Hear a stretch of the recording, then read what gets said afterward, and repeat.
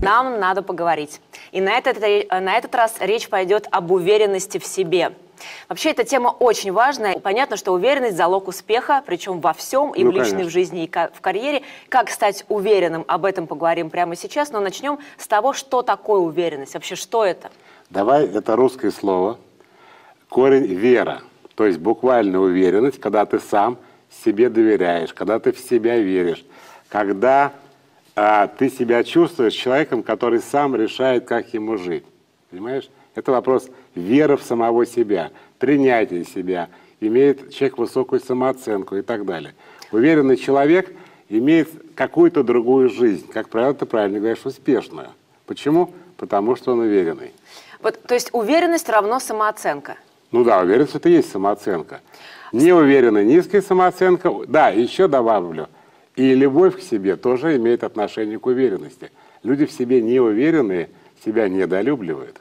Ты никогда так не думала? Думала, но вот смотри, известно, что красавица и мировой секс-символ, например, Мерлин Монро, была дико неуверенной в себе женщиной. При этом она добилась многого. То есть уверенность в себе не обязательна для достижения успеха. Я Или могу прокомментировать твою фразу, она многого добилась.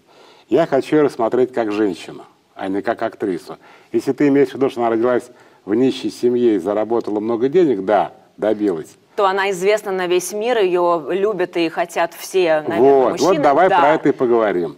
Значит, Мерлин Монро была в себе крайне неуверенная, постоянно срывала съемки, кричала «я бездарная, я никому не нужна» и так далее. Во что это вылилось? Поехали. Братья Кеннеди передавали друг другу и другим знакомым людям ее, как я не знаю, как проститутку какую-то. Ее муж Артур Миллер, который, кстати, мы сейчас об этом поговорим, ну, был такой выдающийся ума, считался человек, драматург, он над ней стебался перед людьми. Он пытался ее унижать перед другими людьми, чтобы на ней другие. Она его обожала. Да, кстати, в иудаизм из-за него перешла. А, кстати, выяснилось, что она сама была вообще не дура, а IQ был 140, выше, чем у Кеннеди. И это еще не все. Она прочитала роман «Улис», и там были ее пометки. Я, например, не смог прочитать. Из-за того, что она не любила себя, но она из очень такой... Ну, это из- из- детства Ее не любил никто. А Джоди Маджо, который, казалось бы, да, с ней развелся после известного инцидента на съемках и так далее. Это человек, который умер в одиночестве. Я сейчас не хочу обсуждать, умер или убили. Во всяком случае, ее нашли с оторванной телефонной трубкой, она всем названивала, не приехал никто. Этот секс-символ мира, да? Приехал Джоди Маджо, когда она мертвая уже была.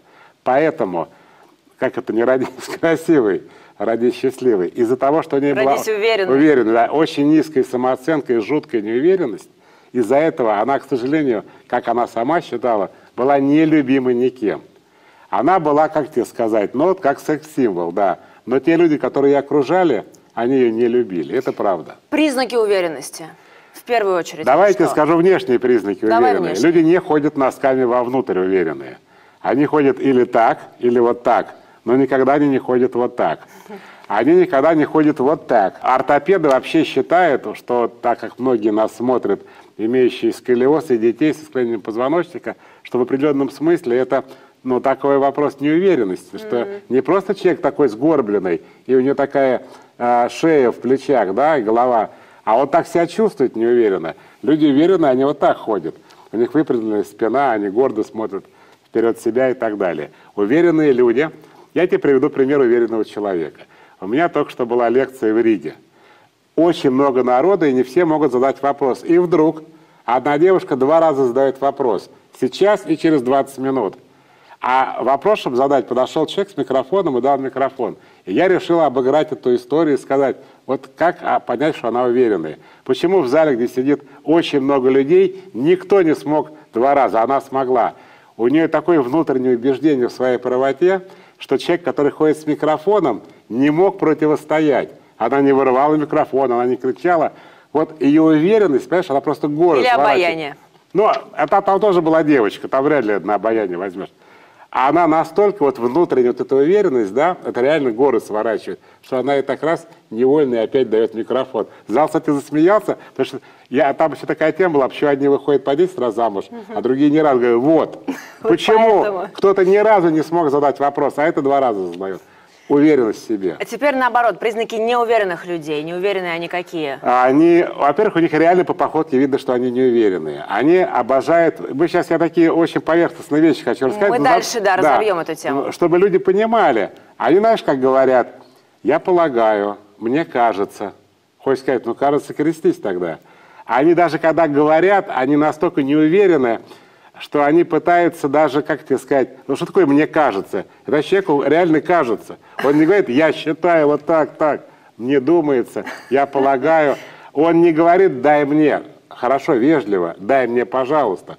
Говорит, а вы не могли бы мне передать? Ну это же просто ну такт какой-то, это воспитание. Подожди, хорошо, а ты читаешь хамская фраза «дай мне, пожалуйста». Не могли бы вы передать мне соль? Мариана, вот ты как женщина. Тебе нравятся мужики, которые говорят, ой, ну, Мариана, а нет, можно я вас поцелую? Слушай, вали отсюда, скажешь, да? Дебил. Нет, нельзя. Правильно?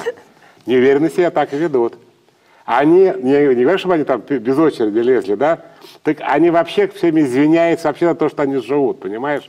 Они все, а можно, а вы, а попробуйте, а можно вот это, а нельзя ли?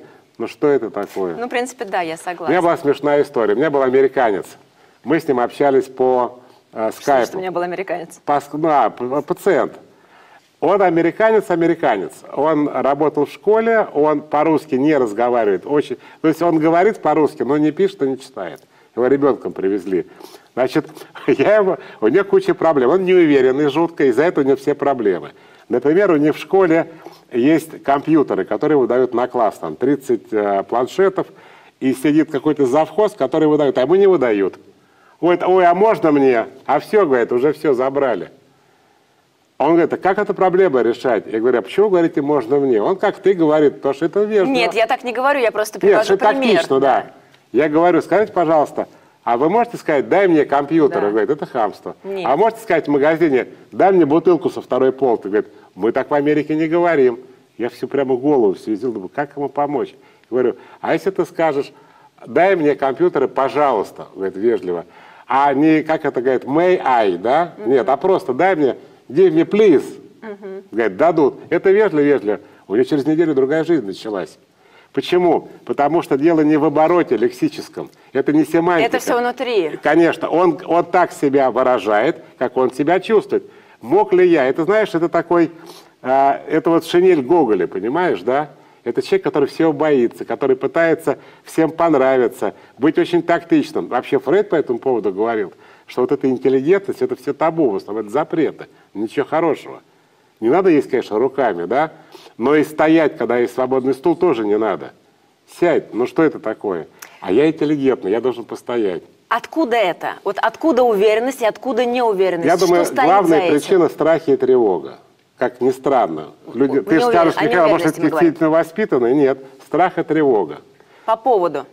По поводу всего, по поводу, могу ли я себе это позволить. Достоин ли я, я? Достоин ли я, имею ли я право и так далее. Вот этот страх, что я недостоин, что я не тот человек, который может себе это позволить, заставляет людей вести себя очень неуверенно. И, кстати, мы их не любим. Знаешь, что их любят? Их любят работодатели. Психиатры. Психиатры, понятно, да. Работодатели, потому что они из-за неуверенности, и, а, как правило, еще перфекционизм, они все переделывают. У них все идеально блестит. Они же не уверены. А человек уверенный сделает что-нибудь, говорит, на, это а что это такое? Да я так делаю, я так работаю. А от чего зависит уверенность? Что за этим стоит? Уверенный в себе человек. Первое, это, конечно же, отсутствие страхов для того, чтобы быть уверенным во всем. Давай просто аспекты рассмотрим. Уверенный в работе – это человек, который уже на собеседовании смотрит в глаза работодателю, и от него исходит определенная сила убеждения в том, что он знает свою работу, и он хочет тех денег, которые он просит. А как неуверенный на работу устраивается? Как вообще последний шанс, или сейчас мы с голоду все сдохнем? Возьмите, пожалуйста. Да, возьмите. А как они деньги просят прибавку? Ой, вы знаете, я у вас 15 лет работаю, у нас раньше такая была работа, сейчас она прибавит. Вы считаете, я же могу уже. А как уверенный просит деньги? Мне нужно вот столько, или я вас просто не работаю. И ему, кстати, платят. А, если, а е, ну, есть же варианты, ну не работайте, до свидания. А для этого нужно, чтобы он был готов уйти с работы. Тоже вопрос уверенности, что он заработает деньги. Неуверенный никогда не уйдет. Неуверенный будет думать, что это вообще последний шанс в жизни. То он рот вообще не откроет. Ты о чем говоришь? Он, а если ему там не 25 лет, а 50, он вообще скажет, слушай, Слава богу, что у меня есть эта работа. Я за нее держаться буду обеими руками и так далее. Дальше. Уверенный человек. Все-таки, ну я как мужчина тебе скажу, да, он подходит к той девушке, которая ему нравится, а не та, которая на него откликнется, понимаешь? Это не одни и те же, это разные люди. Он работает на любимой работе, потому что он в себе уверен, что он это может сделать. Он женат или, я не знаю, живет с девушкой, которую он любит, потому что он ее достоин. И для нее, как для женщины, это чувствуется, Конечно. что мужик в себе уверенный. И у него абсолютно другая жизнь, понимаешь? Он ничего не боится. И здесь, кстати, самое важное – это не сила – Значит, у меня была такая интересная беседа с одним а, очень известным, кстати, он израильский диссидент бывшим, который сидел, это есть в Израиле понятие узник Сиона, за, так сказать, э, попытку уехать в Израиль нелегальным путем, он, как Щеранский, тоже сидел. Он рассказывает, кто выживает, что такое верность, кто выживает в семье. Это эпизод из фильма «Вуди Аллен». Слышишь, Вуди Аллен, да? Значит, он полюбил проститутку и живет с ней. Тут приходит сутенер его убивать за то, что он без спроса живет с чужим товаром. Такой здоровый мужик берет в идеале, поднимает воздух, и уже пытается его убить и спрашивает свою шестерку, говорит, мне нужны билеты на футбол. И тут говорит, какие билеты на футбол, они на год вперед проданы. И тут Вуди Аллен, вися в воздухе, говорит, вам нужны билеты, я могу устроить. Через 2 минуты они сидят за столом, и это громило говорит, если тебе кто-то понравился, бери любую. Вот что такое уверенные люди. Он просто рассказал, кто в тюрьме выживает. Люди без страха. Уверенность – это перманентное состояние или можно быть в одной ситуации уверенной, а в другой нет? Ну, например, я уверена, что я хорошо выгляжу, я, э, соответственно, одета по случаю, у меня там все в порядке с маникюром, с прической, я становлюсь от этого чуть более уверенной. А, например, в работе, в какой-то, ну, я сейчас не про себя говорю, а вообще, ну, я не знаю, просто пример. Угу. Эту работу там мой коллега сделает лучше, чем я, ну, потому что у него больше опыта, больше я времени понял. на это и так далее. Давай так рассуждать. Большинство людей ведут себя, как ты сейчас рассказала. То есть у нас очень избирательная уверенность и неуверенность. Самый трусливый человек в чем-то уверен, например, профессионально, да? Самый смелый герой, например, абсолютно не уверен в себе, там, как мужчина, об этом любят в кино показывать, такой прямо убийца, а тут он прямо такой нежный подросток, который вообще боится женщин, да? У всех у нас есть слабые сильные Это места. нормально? Это ненормально. Я считаю, что уверенность должна быть тотальная. Ты немножко по-другому рассуждаешь. Ты как бы рассуждаешь трезво, что я просто понимаю, что здесь я так, а здесь пусть лучше он. Ты просто не, не пытаешься все вместе захапать, понимаешь? А неуверенный, он стесняется, он боится, он не берется, потому что он же неуверенный, у него же может не получиться. А ты говоришь не так, говорит, я бы взялась, зачем? Он сделает лучше. Это ты опять уверенный получаешься. Поэтому, да, еще любопытная деталь специально для женщин. А 99% женщин уверены только при наличии мужчины в своей жизни. Этот бред начинается еще в школьные годы, когда в восьмом классе дискотека, а девочка стоит, подпирая стенку, и здесь она вдруг понимает, что ее самооценка напрямую связана, пойдет она сейчас танцевать или ее не пригласят. Слушай, я как мужчина тебе скажу, есть у меня женщина или нет, вообще не влияет на мою самооценку. А женщины так не могут сказать, понимаешь, в чем дело? Ну, у женщин... В большинстве своем. А, да, я сейчас хочу тоже сказать на камеру, обращаясь к женщинам, дорогие женщины, самооценка никакого отношения не имеет к тому, есть ли у вас мужчина в жизни или нет. Но я не могу женщину в этом убедить. Я могу еще пять раз сказать на камеру, они мне не, не поймут. Почему? 90% женщин во всем мире реально меряют самооценку по наличию мужчины в жизни. Вот такая вот такая женская странная Если самооценка. уверенность равно самооценка, то завышенная самооценка – это плохо? Это лучше, чем сто процентов. Пусть лучше ты думаешь о себе больше, чем ты представляешь для ну, других. Ну, а в реальности да? пфф, ничего. Ты знаешь, это бывает плохо только в том случае, если тебе приходится лететь с этой высоты. Что ты все время думаешь, что ты прямо, я не знаю как, в результате никак. Но если ты живешь, думаешь, что ты прямо вот королева, да, так прекрасно. Так и будет. Ты, во-первых, ты будешь королевой. Во-вторых, ты правильно сейчас э, упомянула. Те же мужчины, про которых мы сказали, они реагируют только на самооценку. Даже больше, чем на внешность. Потому что когда женщина Конечно. красивая и уверенная, да если взять двух и красивые и неуверенные, то красивые тоже подойдут, но быстро отойдут. Когда она откроет рот и начнет общаться, ее неуверенность тоже сольет всю ее внешность, понимаешь? А уверенность даже, я думаю, ценнее внешности во многом. Как развить вот эту уверенность в себе и повысить самооценку? Это огромная работа. Это работа... С не чего та- начать? Начать с того, что ты должен понять, во-первых, почему ты не уверен. И обычно не уверены это люди, вот у нас была до этого передача про родителей и детей, да, потому что родители себя так вели в детстве, что они внушили тебе эту неуверенность. Например, не трогай, не бери, ты этого не умеешь, ты сейчас сломаешь, ты разольешь. Когда ребенок вообще пытается, не знаю, посуду помыть, еще что-то сделать, потом он растет, да, он начинает учиться в школе. Ты что, идиот, что ли? Ты вообще не понимаешь. Да мы с матерью вообще на пятерке учились.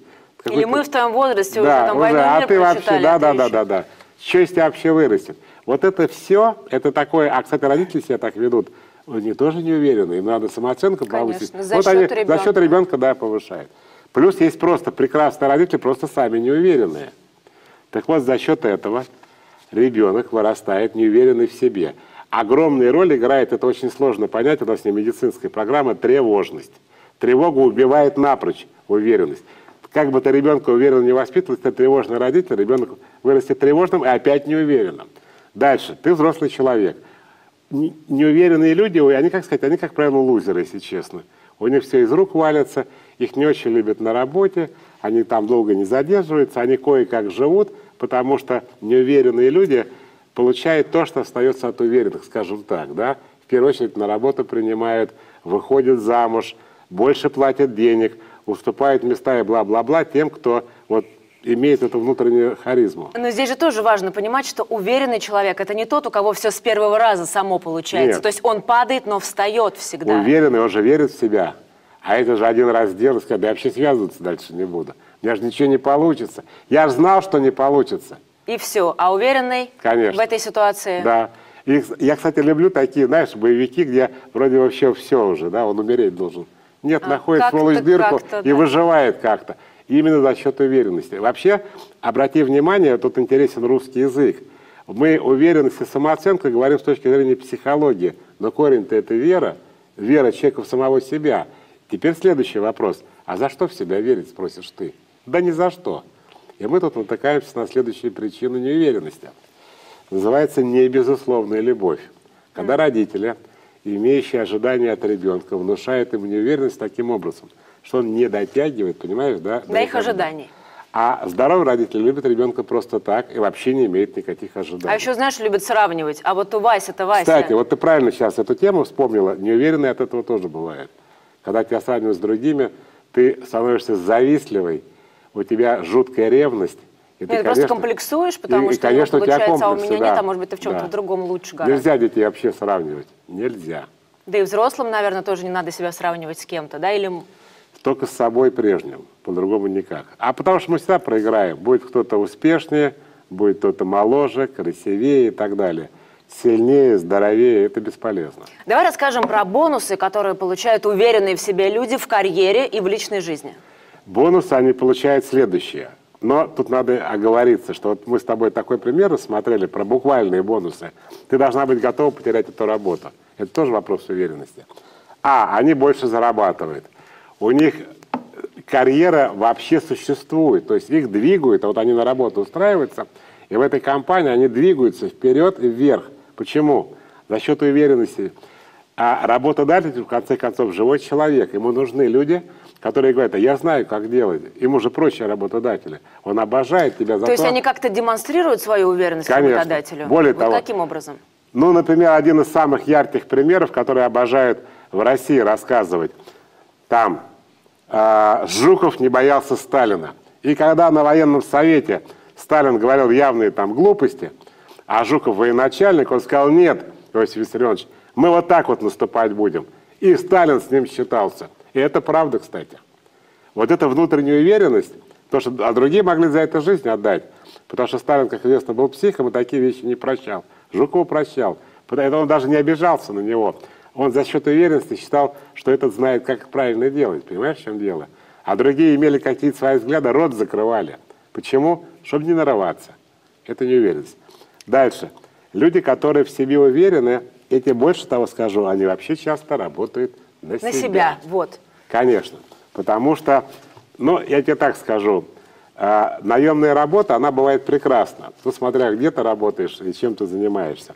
Но все-таки наемными работниками руководят все-таки более уверенные в себе люди, которые не боятся... Не потерять... всегда, кстати. Ну, разные в жизни бывает, да. Но, честно говоря, что такое наемный работник? Ты получаешь деньги, но ты не думаешь о том, откуда эти деньги возьмутся, кто вообще над бизнесом будет над всем думать. А этот может вообще без денег остаться, который сам на себя работает. Но он не боится того, что он будет принимать решения по самому бизнесу и не боится, что он может его потерять. Послушай, это же тоже очень важный вопрос. Он не боится, если он один, одинок, например, или если у него семья, жена и семеро детей, он тоже этого не боится. Здесь же тоже это а, важно разграничить. Да, но опять, уверенный в себе человек, вот эти прекрасный пример сейчас вспоминаем. Знаешь, есть такой, э, помоги мне, время забывай, Михаил Звездинский вспомнил.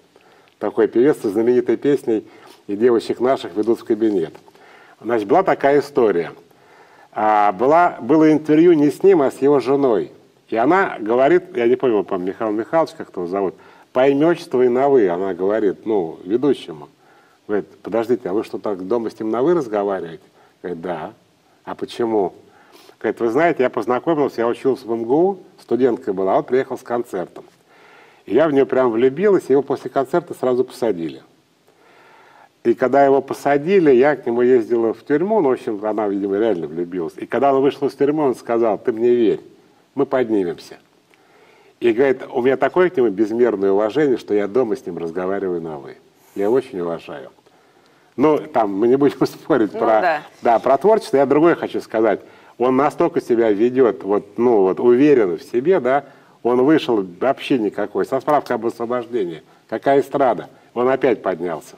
Да, это, это здорово. Скажи, уверенность и наглость – это тождественные понятия? В Израиле есть такое понятие «хуцпа Исраили». Ну, как сказать, еврейское счастье, как наглость, как, как да, второе наглость, счастье. как второе да. счастье.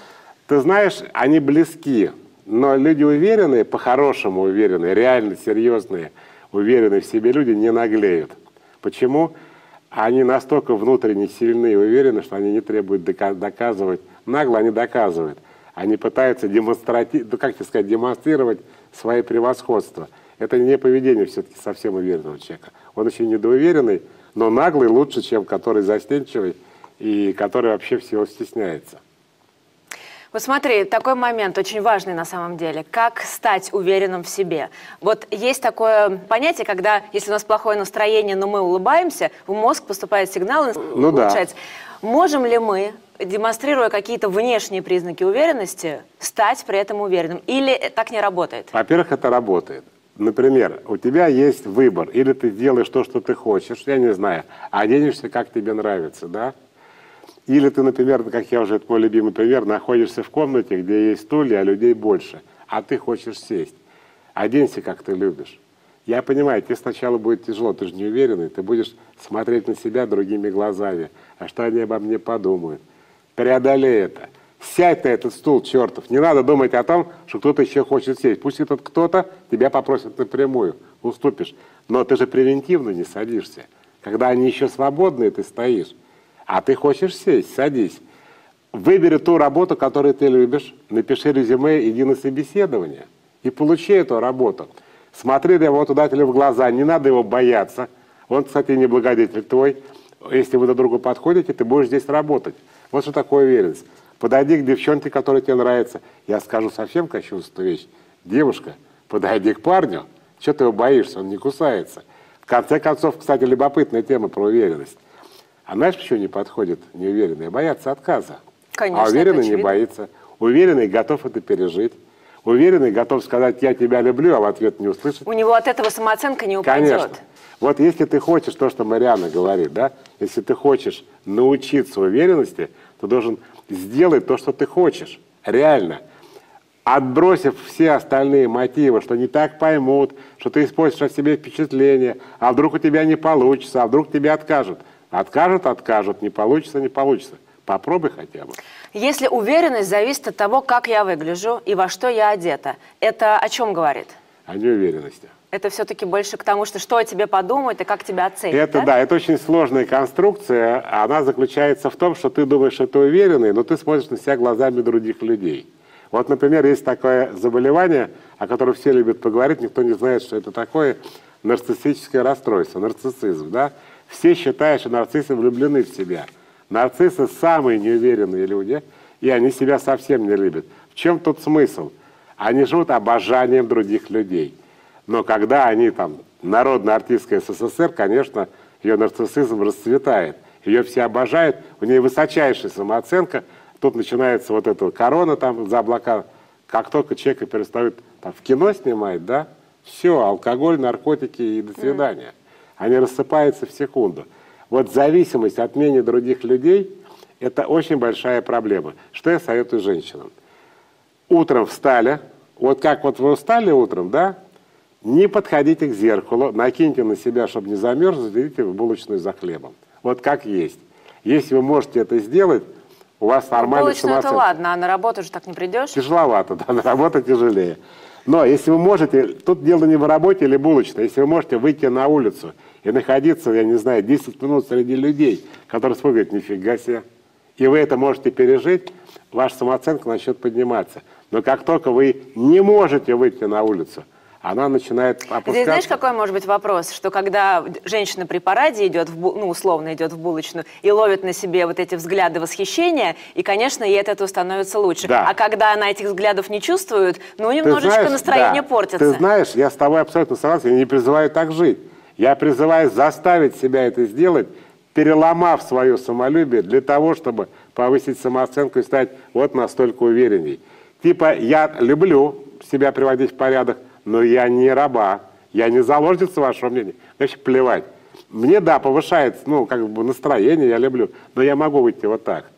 И я со мной, знаешь, как, как актрисы, которые могут играть страшных и безобразных старух, да? Вот нет у них этого. А есть те, которые... Знаешь, меня тошнит, когда... Мы знаем, мы не будем фамилию называть, когда внуки называют их по имени. Не бабушка, говорят. Тут еще хуже был. Кто-то сказал, и мама не называть тоже. Вот, больные люди. Типа, я еще молодая. Это комплекс. Вот это раз уж о детях мы заговорили, как воспитать уверенность в ребенке? Первое, что нужно для этого делать? Для того, чтобы воспитать уверенность в ребенке, есть только первый, второй и последний быть уверенным самому. По-другому никак. Не, неуверенный родитель не может воспитать Вообще ни при каких обстоятельствах? Нет. Если только ребенок не- не из этой семьи. Бывают такие истории, я их редко, но видел, когда ребенок чувствует себя... У меня одна знакомая говорит, родители меня подменили. Она говорит, вы не мои родители, потому что у нас такой менталитет разный.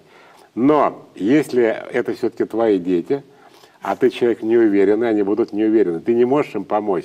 Я видел эти дурацкие сцены, когда там папа, который все боится, говорит ребенку, давай, сейчас дай ему сдачи, дай ему по голове. Когда мама, которая вообще дрожит от нее, говорит, дочка, давай, у тебя получится, я в тебя верю. Ну, это ты не работает, да, не ты работает. крайний случай. Если так, средне уверенные родители в себе, может быть, не мега какие-то уверенные люди, но тем не менее. И вот как помочь ребенку стать уверенным в себе? Вот расскажи. Ребенка надо поддерживать. Уверенность имеет прямое... Во-первых, давай начнем с того, откуда у детей вообще возникает мысль о том, насколько они уверены. Конечно, от родителей. Когда родители в тебя верят, когда они с рождения говорят, давай, у тебя получится. Они не орут, как я говорил, убери руки, ты сейчас все разобьешь, испортишь и испачкаешь, да? А говорят, а давай вместе. Ребенок привыкает к тому, что у него получается. То есть не ругают его, даже если что-то разбил? Нет, надо терпение просто иметь и все. Они, главное, должны ребенку испытывать чувство поддержки. Ребенок должен чувствовать, что его поддерживают. И тогда он становится уверенным. Во всем. Практически да. Что точно не надо делать, если ты хочешь стать уверенным человеком? Там не, Не- оправдываться, я не знаю, не сравнивать хоро- себя с другими. Подожди секундочку, хорошая мысль ты дала. Не оправдываться. Что это значит? Давай пример дадим конкретный. Ты проспала на работу. Здравствуйте, здравствуйте. Почему вы пришли на два часа позже? Вы- Проспала. Подожди, правильно. Но люди не так говорят. Ой, гости вчера были, я так поздно спать легла, а тебя что, спрашивают, кто у тебя был, когда ты легла? Вот это оправдание. Не надо так говорить. Надо говорить, как Мариана сказала. Почему опоздала? Проспала. Будут дальше вопросы, буду дальше объяснить. То есть отвечайте прямо на вопрос. Это пятое правило. Отвечайте прямо на вопрос. Почему э, проспала? Потому что поздно легла. Почему поздно легла? Были гости. Нет вопросов? Ответ проспала. Дальше. Старайтесь говорить, что вы, не, что вы хотите, то есть о своих желаниях прямо говорить, а не спрашивать. Объясню почему. Вот ты продавщица, я покупатель, я говорю, не могли бы вы мне дать вот это? А ты говоришь, а я не могу вам этого дать. То есть я как бы делегирую тебе решение, давать мне или не давать, понимаешь, то, что я прошу. Дайте мне это, пожалуйста. Дайте мне это, пожалуйста. Слово «пожалуйста» полностью нивелирует хамство начала фразы. Абсолютно вежливая формулировка в любой стране мира. Нас смотрят в США, в Израиле, в Германии, там говорят «дайте, пожалуйста». А не могу ли я у вас попросить? Так вот, когда вы прямо говорите о своих чувствах, прямо говорите о своих желаниях, вы становитесь, конечно же, уверенной. Старайтесь, когда вы вообще формулируете свои вещи, не говорить по моему мнению, мне кажется, мне думается. Это все выдает вас неуверенность. Ходите прямо. Если у вас искривление позвоночника, идите на лечебную гимнастику. Не ходите вот носками вовнутрь. Это один из классических, и с такой спиной сгорбленной, из классических признаков неуверенности. Ну, мы же уже выяснили, что это идет все от мысли, от осознания. То есть поможет ли в этом как случае тогда книга гимнастика? называется «Атлант расправил плечи», да. Начинайте по-другому чувствовать себя, поможет, конечно. Все выпрямится, шея начнет быть прямой, а взгляд будет вперед и вверх, а не, на, не, не вниз и в бок. Когда вы разговариваете, не уводите глаза, смотрите в глаза. Это тоже признак страха и неуверенности. Особенно, когда вы с боссом говорите. Когда это ваш работодатель, я не знаю кто. Вы говорите так, как будто вы вообще всего боитесь, а вы боитесь, что вас уволят. Вообще есть люди, которые каждый день об этом и думают. Вы должны, чтобы он боялся, что вы уйдете, а не вы бояться. А как сделать, уволят. чтобы он боялся, что вы уйдете? Но должна быть уверенность у вас такая. То есть ты хочешь сказать, что для этого не обязательно обладать такими вот сверхценными навыками, нет, из-за которых... Конечно, за нет, ну давай хотя бы профессионализм ты должен быть. Ну, ты само должен, собой. Как сказал Карл Масс, на 100 рублей, которые ты приносишь в компанию, ты свой рубль получаешь. Принеси ей 100 рублей. Но дело в том, что соискателей-то много, понимаешь? А выбрали-то вас. А еще любопытная деталь. Я, как советский человек, думал, что, например, в Америке берут за деловые качества. Неправда. Ты знаешь, когда, когда вот в Америке происходит собеседование, есть два человека с одинаковым набором. У них определенный а, бэкграунд, то есть у них образование одинаковое, определенный оп опыт работы. Знаешь, кого возьмут? А вот кто в себе увереннее Конечно. и кто лоялен с точки зрения, это тоже дело уверенных, кто комфортен для коллектива. А для коллектива не очень комфортны люди, которые в себе не уверены. Они очень, так сказать, ну, как сказать, тяжеловатые, что ли. Они не говорят прямо от своих желаний с ними, сложно общаться. Скажи, чем ты объясняешь э, тот факт, что в Америке и в Европе гораздо больше количество уверенных в себе людей, нежели в России? А, ну, главная причина, их не бьют в детстве. Их не трогают руками, это запрещено. К ним выражают уважение, начиная от э, рождения, детский сад, школа. Никто не говорит, о таких идиотов еще не видела.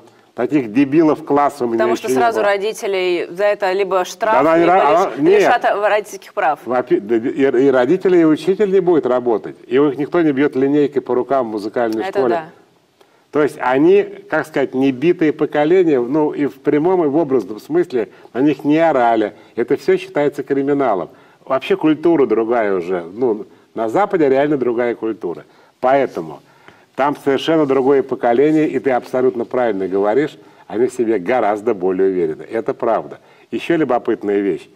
Вот есть Израиль-арабский конфликт, где воюют израильтяне и арабы. Арабы, дети, их жестко воспитывают. Их могут улупить и наказывать. Евреев, ну, сама понимаешь, целуют в попу.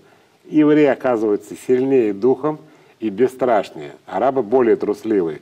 Как ни странно, это я обращаюсь к тем, кто решил из мальчика мужчину вырастить, да? Вы его только забьете, он будет гораздо более трусливый. А вот как раз избалованные как бы еврейские дети, которых пыль сдувает, когда доходят до войны, они оказываются гораздо и жестче, и конкретнее, и бесстрашнее, и они не боятся того, что могут бояться арабы, потому что они не битые, они уверенные в себе люди. Это совершенно другая психология.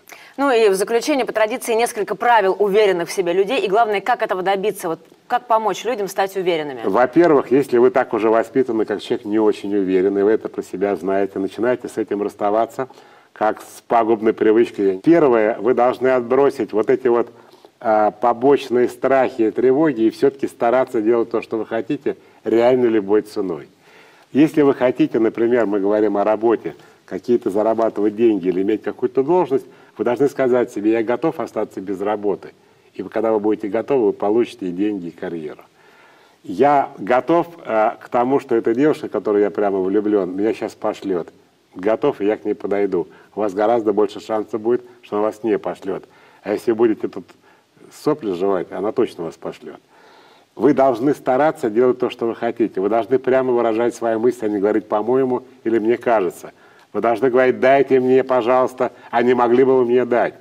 Вы должны брать на себя ответственность, вы должны меньше спрашивать других о себе, не переспрашивать, а как я сделал, а как я выгляжу. Я должна сама в себе найти силы понравиться себе. Но и самое главное, и последнее, человек уверенный абсолютно принимает себя полностью и любит себя таким, какой он есть а не за что-то или частично. И не думая, что скажут о нем окружающие Конечно. или подумают. Нет, он не зависит вообще от мнения окружающих. Это, кстати, один из признаков уверенности. Спасибо. Это были советы от психолога Михаила Лобковского.